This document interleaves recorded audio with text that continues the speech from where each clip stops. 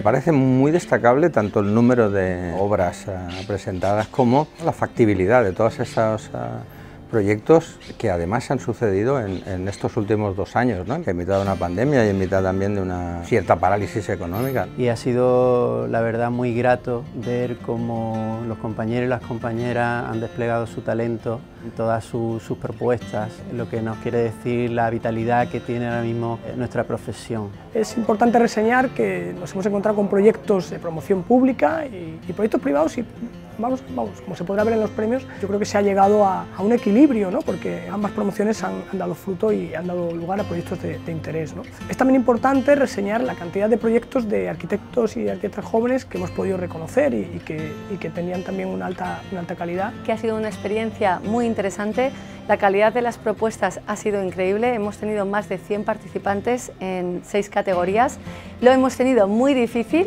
había propuestas de gran calidad y hemos decidido entre todos elegir unos premiados y unas menciones que respondieran a los grandes fundamentales que vive ahora el sector.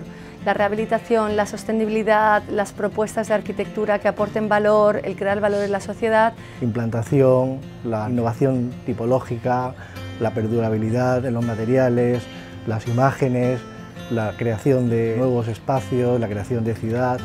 Ha sido difícil elegir entre los mejores porque son todos muy buenos. Y muy feliz de estar en Málaga y ver la calidad arquitectónica de todos los proyectos que hemos tenido la suerte de analizar, debatir, discutir.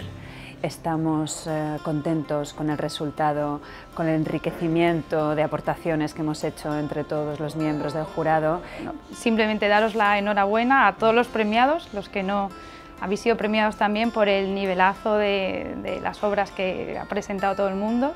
Creo que nos podemos felicitar aquí en Málaga con el nivel de la arquitectura que, hemos visto esta mañana. Y al final puedo decir que estoy satisfecha con el resultado, con los, premiados y espero que este tipo de premios continúen a lo largo de, de los años para poner en valor una arquitectura en una ciudad tan bonita como puede ser Málaga. Que somos una profesión que seguimos en evolución, que vamos incorporando en proyectos temas de sostenibilidad, de accesibilidad, de funcionamiento de edificios, soluciones para promotores públicos, para los privados y atendiendo a la sociedad como es nuestra función, porque detrás de ella hay mucho trabajo, mucho trabajo realizado durante el año, no solo en esas propuestas, sobre todo eso, agradecer esa vitalidad que sigue teniendo el Colegio de Arquitectos, porque significa mucho, significa que somos también identidad de, una ciudad y al final nos acercamos más también al ciudadano, a sus necesidades y creo que es importante también para nosotros.